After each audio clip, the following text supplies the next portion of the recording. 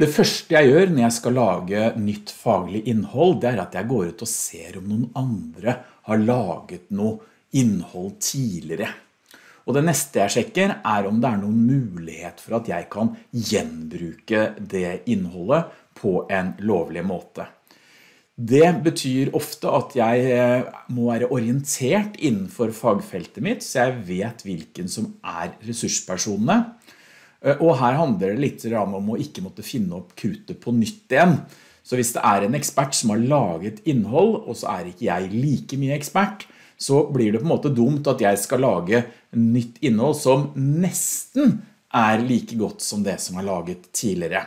Derfor kontakter vi veldig ofte ressurspersoner som har laget faglig innhold, og spør om vi kan få gjenbruke, eventuelt gjenbruke mot kompensasjon. Ofte så betaler vi da de antall timer for å produsere innholdet. De må ikke nødvendigvis lage det på nytt igjen, men vi må jo få tilgang til å bruke det på våre studenter i forhold til MOOC-studiene våre. Så er det selvfølgelig viktig å kvalitetssikre dette innholdet som man eventuelt gjenbruker. Noe som allerede er kvalitetssikret, det er jo bøker og artikler. Eh, og vi prøver ofte å bruke open access-artikler i våre MOOC-studier, for da kan de deles også i de åpne versjonene som vi pleier å ha våre nettkurs.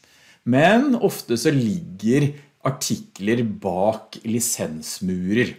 Eh, og Høgskolen i Østfold bruker masse penger på hvert år gjennom biblioteket og kjøper rettigheter til artikkelsamlinger.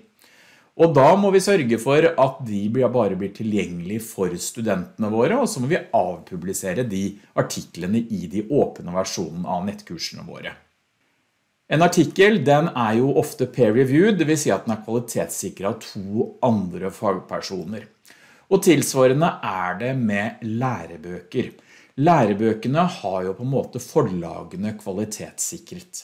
Og gjennom Kopinor-avtalen så kan vi gjenbruke opp til 15% av en bok. Men hvis det typ er en novelle eller en kapittel i en bok som går over de 15%, så får man lov til å gjenbruke hele kapittelet.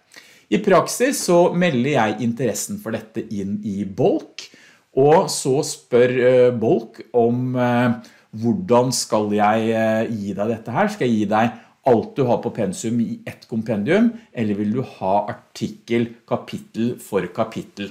Og jeg velger ofte å dele det opp, for jeg embedder da denne pdf-en inn i MOOC-kurset mitt på det riktige stedet. Man kan i Bolt både få enkeltkapitler og samle kompendiumer. Bolk sørger for at opphavsrettsmannen og forlagene får vedlag, for vi registrerer altså inn antall studenter hver gang vi registrerer dette her i Bolk, og vi gjør det hvert eneste semester et studie går.